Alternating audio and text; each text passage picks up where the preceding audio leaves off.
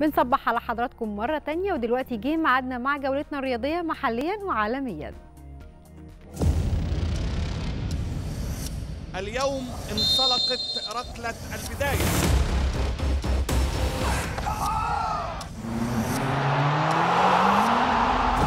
دندن يا صلاح مول يا صلاح. للباحثين عن كرة هذه كرة الإبداع.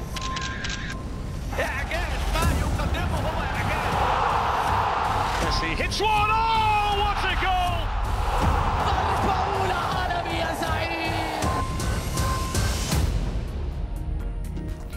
هنبدأ معاكم جولتنا الرياضية مع المنتخب الوطني وإيهاب جلال المدير الفني لمنتخب مصر واللي أعلن امبارح عن قائمة اللاعبين المبدئية لمعسكر المنتخب الجاي في الفترة من 30 مايو للحد 14 يونيو واللي هيخوض خلالها المنتخب مباراتي غينيا وأثيوبيا في التصفيات المؤهلة لأمم أفريقيا 2023 القائمة دي بتعد الأولى لمدرب المنتخب الوطني إيهاب جلال في مشواره مع المنتخب واللي ضمت 44 لاعبا منهم 8 محترفين بالخارج وهيواجه منتخب مصر نظيره الغيني في الجولة الأولى بتصفيات كأس الأمم الإفريقية 2023 يوم 5 يونيو على استاد القاهرة.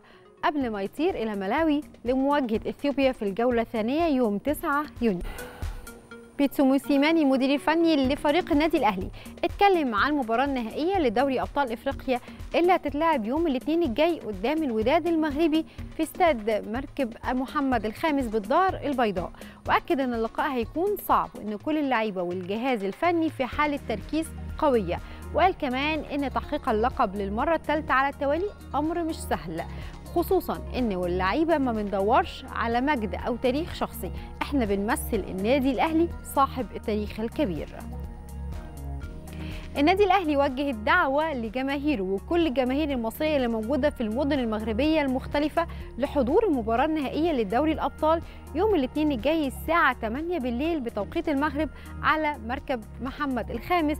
وأكد النادي إن دعوته تشمل جميع المصريين المقيمين في المغرب واللي عنده رغبة في تلبية الدعوة لمؤازره فريق الأهلي في المباراة يروح لمنطقة أوازيس مركز تدريب نادي رجاء الرياضي في مدينة الدار البيضاء. ويتسلم تذكرة المباراة أول ما يحضر مباشرة بموجب صورة جواز السفر المصري.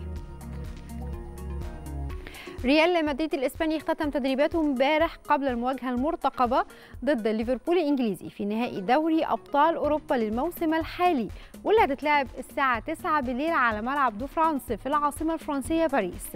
وشهدت تدريبات ريال مدريد مشاركة كل نجوم الفريق. وسط أجواء رائعة بين اللعيبة ومدرجات الملعب. كان فيها كمان حضور مكثف لعائلات نجوم الفريق اللي حرصوا إنهم يكونوا موجودين في باريس لدعمه ليفربول برضو امبارح خاض تدريبه الأخير قبل مواجهة الريال في نهائي دوري أبطال. وشهد تدريب ليفربول مشاركة جميع اللاعبين ما عدا المهاجم البلجيكي ديفوك أوريجي اللي اتاكد غيابه عن مواجهة ريال مدريد للإصابة. وشارك الثنائي البرازيلي فابينيو والاسباني تياجو ألكانترا بشكل طبيعي بعد تعافيهم من الإصابة. وسادت حالة من المرح والسعادة خلال تدريب الريدز قبل المباراة النهائي.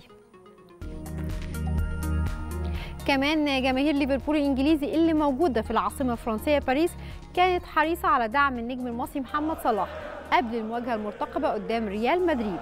وقامت جماهير ليفربول المتواجدة في العاصمة الفرنسية باريس بالهتاف للنجم المصري محمد صلاح من خلال غناء الأغنية الشهيرة الملك المصري مو صلاح.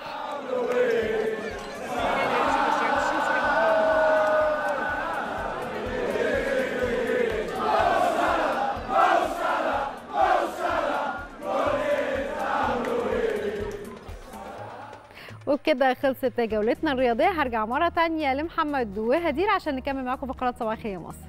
شكرا ليك يا دينا.